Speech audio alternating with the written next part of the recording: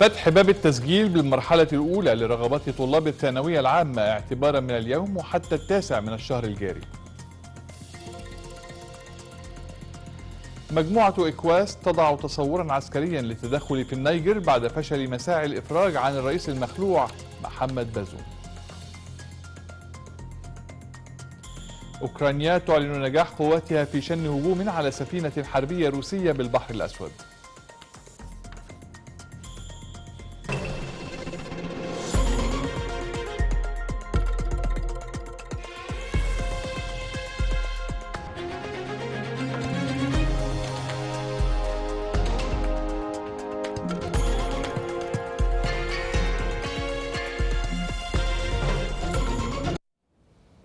أهلا بكم مشاهدينا الكرام في نشرة الأخبار من قناة النيل.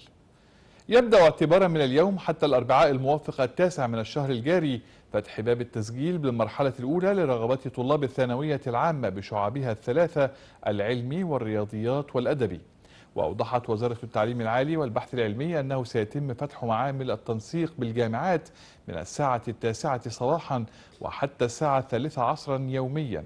مشيرة إلى أنه يمكن للطلاب التقدم عن طريق الحاسب الآلي أو التليفون المحمول وسيكون الموقع متاحا على مدار الأربع والعشرين ساعة طوال أيام المرحلة الأولى.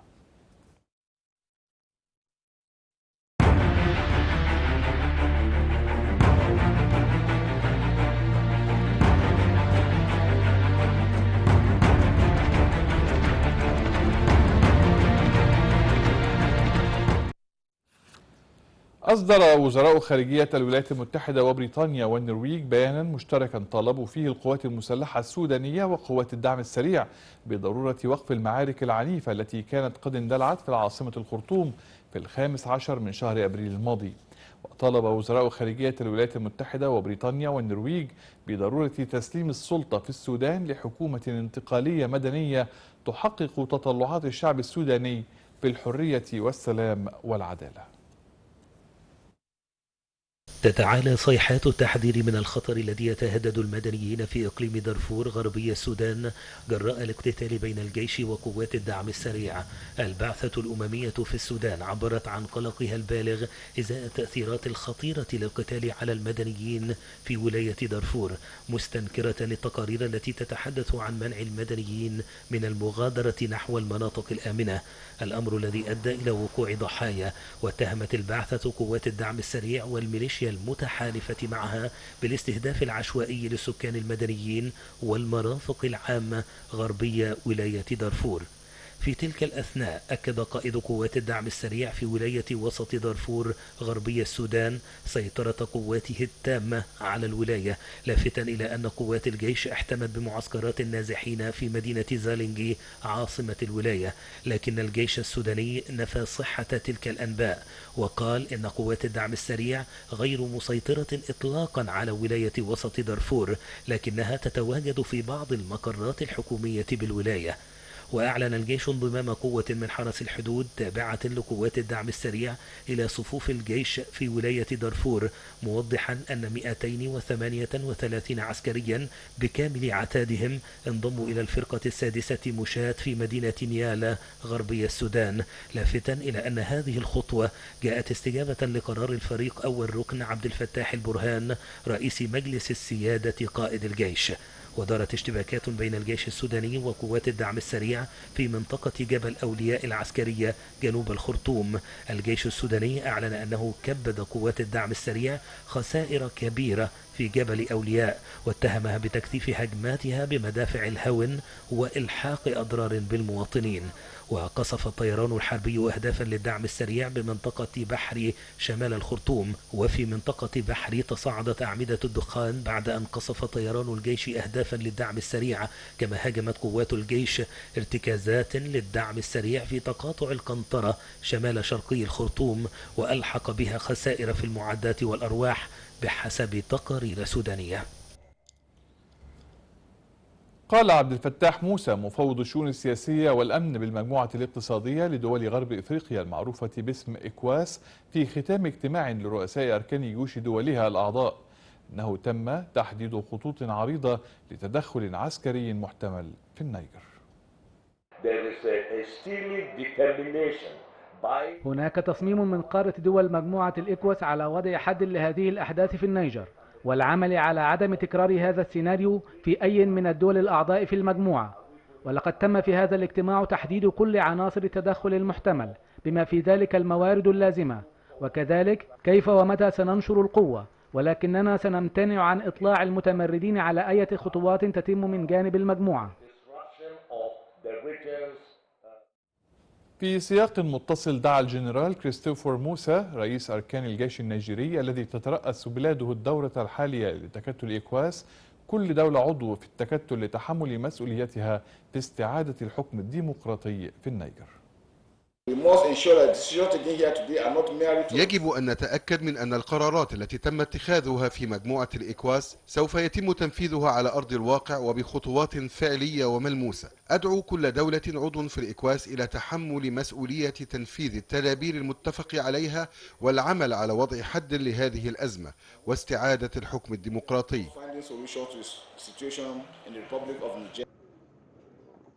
بعد رفض قادة المجلس الوطني لحماية الوطن بالنيجر الاجتماع مع وفد المجموعة الاقتصادية لدول غرب أفريقيا إكواسا أعلنت المجموعة في ختام اجتماع لرؤساء أركان جيوش دولها الأعضاء في أبوجا أنه تم تحديد الخطوط العريضة لتدخل عسكري محتمل ضد هذا المجلس الذي يقوده الجنرال عبد الرحمن تياني بعدما أطاح بنظام محمد بازوم.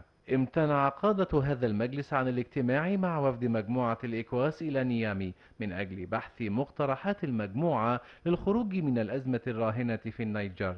وكانت مجموعة الإكواس قد أمهلت المجلس الوطني لحماية الوطن بالنيجر مهلة مدتها سبعة أيام. تنتهي اليوم السبت لإعادة الرئيس محمد بازوم إلى السلطة بعد الإطاحة به في السادس والعشرين من يوليو الماضي. وفرضت المجموعة الاقتصادية لدول غرب أفريقيا إكواس بالفعل عقوبات على النيجر وقالت إنها قد تصدر تفويضا باستخدام القوة كحل أخير إذا لم يقم هؤلاء العسكريون بإعادة السلطة للرئيس محمد بازوم. وكان ما يعرف بالمجلس الوطني لحماية الوطن في النيجر قد حذر من أنه سوف يرد على الفور على أي تدخل عسكري من قبل مجموعة الإيكواس أو أي دولة أخرى وأنه سوف يعتبر هذا التدخل العسكري عدوانا ضد النيجر. ومع تواصل الأزمة تواصل العديد من دول العالم تنفيذ عمليات إجلاء جوية لرعاياها من النيجر فيما تكثف الدول الغربية دعواتها إلى ضرورة التهدئة. والبحث عن حل سلمي للأزمة.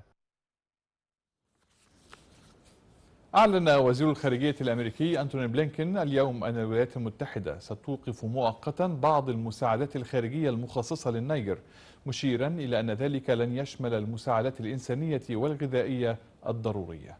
وقال بلينكين في بيان أصدرته الخارجية الأمريكية أن واشنطن ستواصل أنشطتها في النيجر قدر الإمكان بما في ذلك العمليات الدبلوماسية والأمنية لحماية المواطنين الأمريكيين مضيفا أن تقديم المساعدة الأمريكية لحكومة النيجر يعتمد على الحكم الديمقراطي واحترام النظام الدستوري بما يتفق مع الخطوات التي اتخذتها المجموعة الاقتصادية لدول غرب إفريقيا إكواس والاتحاد الإفريقي.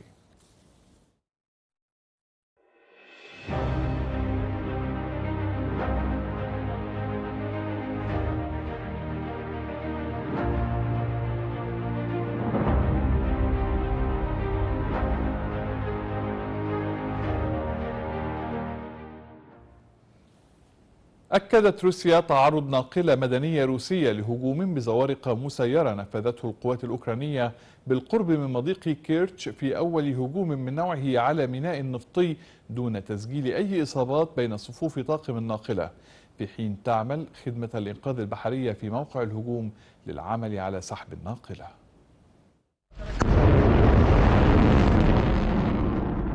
تكتيك هجومي جديد فاجأت به أوكرانيا روسيا بشنها هجوما بزورق مسير على سفينة حربية روسية في قاعدة بحرية بالبحر الأسود. الهجوم وقع في ميناء نوفوروسيسك وهي المرة الأولى التي تستعرض فيها البحرية الأوكرانية قوتها بعيدا عن شواطئ البلاد. دفع الهجوم ميناء نوفوروسيسك الذي يتعامل مع 2% من إمدادات النفط العالمية ويصدر أيضا الحبوب. دفعه إلى وقف حركة جميع السفن بصفة مؤقتة. وزارة الدفاع الروسية من جانبها أعلنت أنه تم التصدي لزورقين مسيرين أوكرانيين في المياه خارج القاعدة وتدميرهما. وذكرت أيضا أن زوارق مسيرة أوكرانية هاجمت سفنا حربية روسية كانت ترافق سفينة مدنية. كما أعلنت إحباط هجوم بمسيرات أوكرانية على شبه جزيرة القرم. على الجانب الآخر قال مصدر في المخابرات الأوكرانية إن سفينة إنزال تابعة للبحرية الروسية والتي تحمل نحو 100 جندي روسي على متنها تعرضت لأضرار خلال هجوم بزورق مسير يحمل 450 كيلوغراما من مادة TNT المتفجرة. وتصاعدت حدة الاشتباكات في البحر الأسود والموانئ المحاذية منذ أن رفضت روسيا الشهر الماضي تمديد اتفاق يسمح بالتصدير الآمن للحبوب من الموانئ الأوكرانية إذ ضربت الطائرات المسيرة والصواريخ الروسية عددا من منشآت الموانئ الأوكرانية وصوامع القمح في البحر الأسود.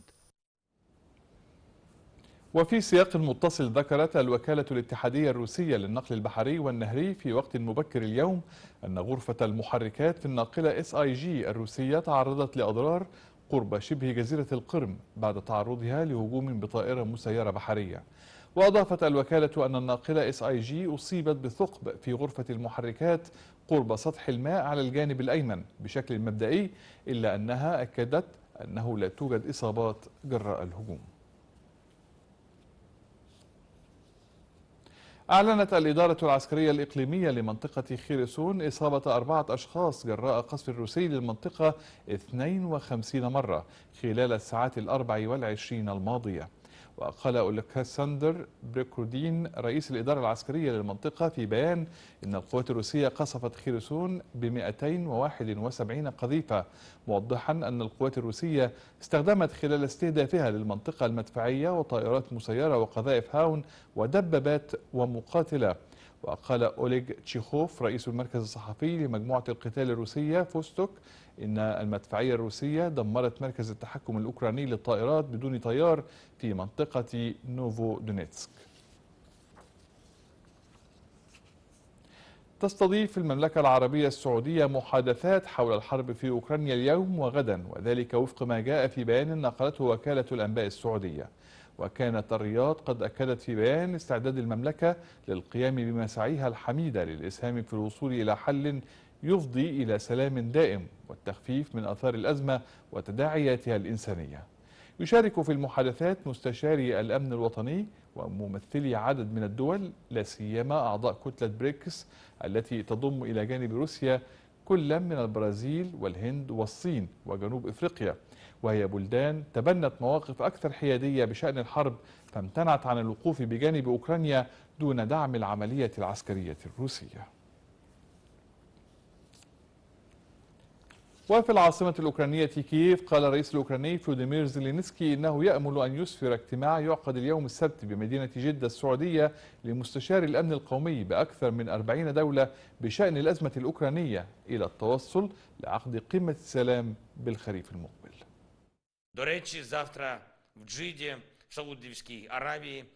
تستضيف مدينة جدة السعودية اجتماعا لمستشاري قادة الدول وممثلي وزارات الخارجية لمناقشة طرح خطة سلام للأزمة الروسية الأوكرانية. وأعتقد أن هذه المحادثات سوف تشارك بها العديد من الدول من مختلف القارات. إنه اجتماع مهم للغاية حيث أنه سوف يتطرق إلى أزمة الأمن الغذائية التي نشبت جراء الحرب وأصبح مصير ملايين من الأشخاص حول العالم مرهون بمدى سرعة تنفيذ خطة سلام عادلة.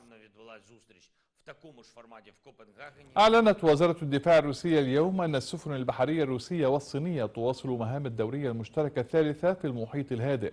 وأوضحت الدفاع الروسية أن طواقم سفن البلدين أجرت مناورات تكتيكية مشتركة ونفذت عمليات إنزال وإقلاع للحوامات من على السفن.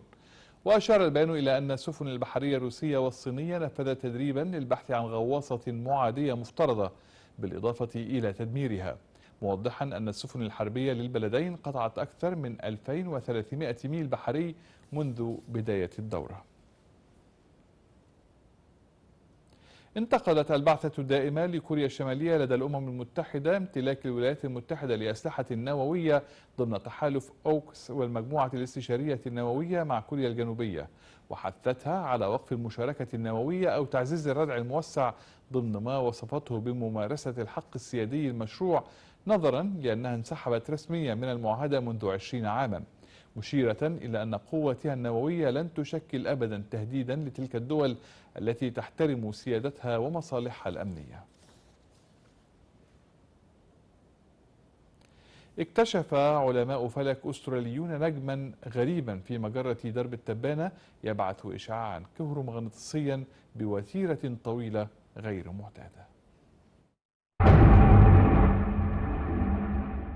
في خطوة تفتح طريقا جديدا لمراقبة السماء اكتشف علماء فلك استراليون نجما غريبا في مجرة درب التبانة يبعث إشعاعا كهرومغناطيسيا بوتيرة طويلة غير معتادة. وأعلن علماء الفلك الأستراليون في مجلة نيتشر عن اكتشاف جسم يقع على بعد حوالي أربعة ألاف سنة ضوئية من الأرض ويبعث إشارة إشعاعية قوية كل 18 دقيقة ما يمثل فترة طويلة غير اعتيادية. عالم الفلك الإشعاعي في المركز الوطني الفرنسي للبحث العلمي إسماعيل كونيار قال في بيان صادر عن المركز أن النجم المشع المكتشف يعد جسما غير عادي بكل المقاييس. ويعلم علماء الفلك جيدا بالأجرام السماوية التي تبعث موجات كهرومغناطيسية منتظمة وبفترات أقصر بكثير من تلك الصادرة عن النجم المشع المكتشف حديثا. وتعرف النجوم التي تصدر موجات كهرومغناطيسية بالنجوم النيترونية أو النجوم النابضة وهي نجوم صغيرة الحجم تدور حول نفسها بسرعة فائقة وتبعث إشعاعا منتظما في فترة تتراوح بين بضعة أجزاء من الثانية وبضع ثواني أما الفترة التي يستغرقها النجم المغناطيسي المكتشف حديثا فهو نوع آخر أكثر ندرة من النجوم النيترونية لبث إشعاعه تصل إلى عشر ثواني. واطلع فريق العلماء برئاسة ناتاشا هيرلي ووكر من جامعة كورتين في استراليا على البيانات التي جمعها تلسكوب مورشيسون الراديوي المنخفض التردد في الريف الأسترالي الذي يراقب هذا النوع من الأجسام باحثا عن الإشارات المنبعثة ضمن فترة أطول من الفترات الاعتيادية. والنجم المرصود هو عبارة عن نجم مغناطيسي يبعث أشعة لفترات طويلة بالرغم من كونه من نوع النجوم النيترونية التي تدور ببطء شديد حول نفسها بالتالي يصعب انبعاث إشعاع ساطع منها. واستند إسماعيل كونيار إلى إحدى النظريات لشرح قوة الانبعاثات المرصودة بقوله إن بعض النجوم المغناطيسية تملك فترات انبعاث ساطعة جدا متوقعا وجود فرقعات في قشرة النجم المغناطيسي الخارجية من شأنها أن تؤثر على حقله المغناطيسي من خلال تسريع الانبعاثات المسجلة. وأكد عالم الفلك أن الجسم سيكون موجودا باستمرار حتى لو أصبح غير مرصود بينما تستمر المطاردة للعثور على أجسام متشابهة. انطلقت أعمال وفعاليات المهرجان الكشفي السنوي بمشاركة ألف شاب من مختلف محافظات مصر. نتابع هذا التقرير.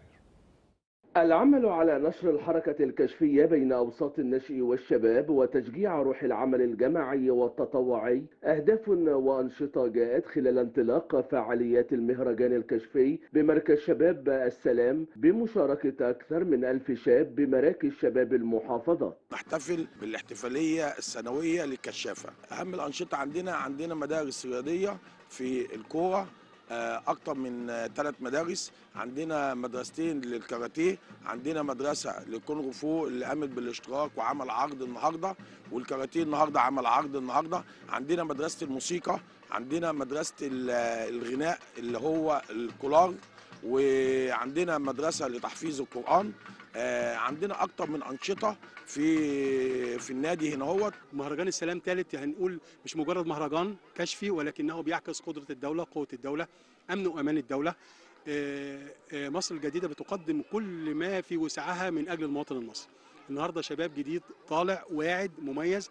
بيجد إن مراكز الشباب لها دور مجتمعي يتكامل دورها مع كافة مؤسسات المجتمع لتقديم الشخصية المصرية السوية القادرة على القيادة في كافة المجالات. المهرجان الكشفي تضمن عروضا فنية وثقافية ورياضية ومسابقات للمواهب الفردية بمشاركة ذوي الهمم والقدرات الخاصة من أبناء مركز شباب السلام. المهرجان ده بصراحة بيأسس الولاد آه، بجد تكوينيا بيخليهم كمان يتعرفوا إزاي يبقى في منافسة بينهم وبين بعض. آه، روح حلوة محبة بيناقشوا كويس آه، بيعملوا أبحاث بيشتغلوا في بيوتهم. آه، هدف الكشافة والمهرجانات دي بصراحة بتعلمهم حاجات كتير جدا وبتربيهم تكوينيا في البيت ومعانا كمان. أقيم من خلال المهرجان فعاليات مختبر شارات الهوايات لاختبار الكشافين على آه، شارة آه، هاو الكمبيوتر هاو الثقافة الجوية المزارع آه، هاو الأشغال اليدوية. أقيم في المهرجان مجموعة من الأنشطة المختلفة منها الأنشطة الرياضية والأنشطة الثقافية والأنشطة العلمية والأنشطة الكشفية. المهرجان تضمن الكرنفال الوطني لكل محافظة ومختبر شارات الهوايات والذي تنظم جمعية الكشافة الجوية بالقاهرة وطابور عرض لكافة الفرق الكشفية المشاركة. جهود كبيرة تقوم بها وزارة الشباب والرياضة في دعم الأنشطة الكشفية والتي تسهم في تأهيل الكوادر الشبابية وتأسيس بنية معرفية وتثقيفية متنوعة لخلق جيل واعي من الشباب قادر على الانتماء للوطن وتعزيز قيم التطوع والخدمة العامة وتنمية مهارات القيادة. من داخل مركز شباب السلام الثالث أحمد ممدوح أني. وفي ختام نشرتنا هذه تذكرة بأبرز العناوين. فتح باب التسجيل بالمرحلة الأولى لرغبات طلاب الثانوية العامة اعتبارا من اليوم وحتى التاسع من الشهر الجاري. مجموعة إكواس تضع تصورا عسكريا للتدخل في النيجر بعد فشل مساعي الإفراج عن الرئيس المخلوع محمد بازوم أوكرانيا تعلن نجاح قواتها في شن هجوم على سفينة حربية روسية بالبحر الأسود.